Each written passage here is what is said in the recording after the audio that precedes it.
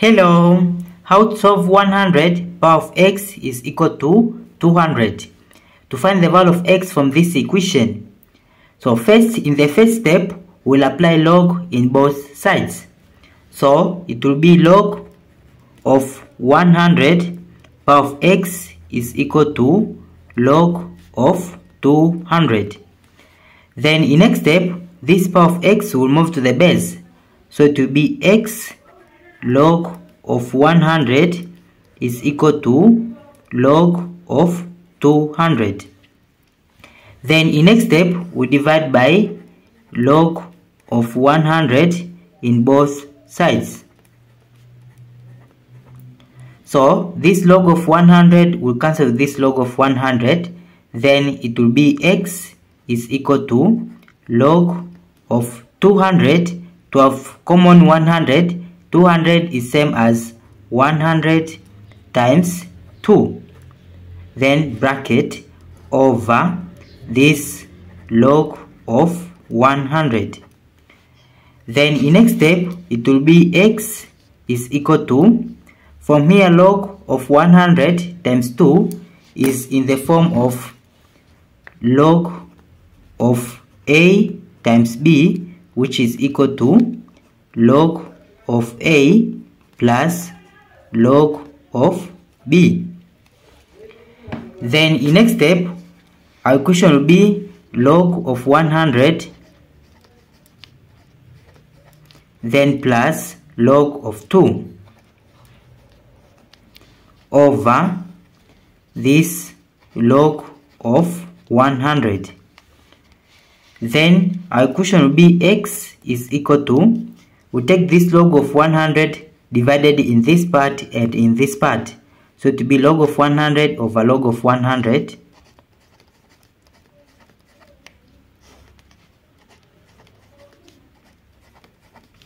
then plus log of 2 over log of 100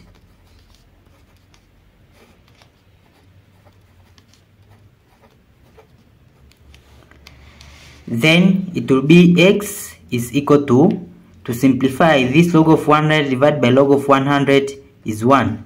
So it will be 1 plus log of 2 then over log of 100 is same as 10 square.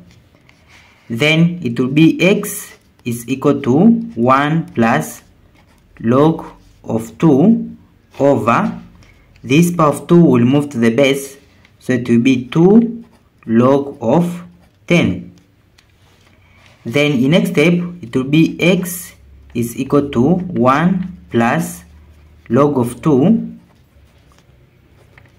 then from here log of 10 is is equal to 1 so it will be 2 times 1 which is 2 so it will be over 2 then we'll substitute the value of log of 2 from log of 2 is equal to 0 0.301 so substitute 0 0.301 into here.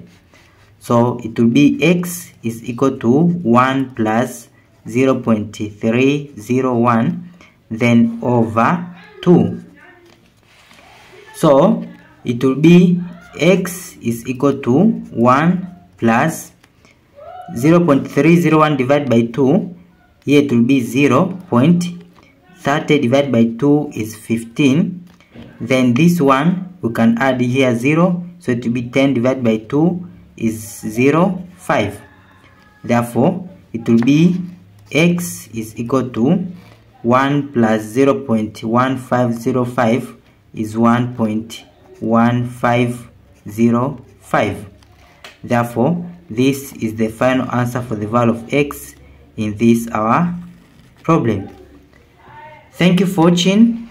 Don't forget these steps to miss out. Subscribe to my channel and see you in the next video.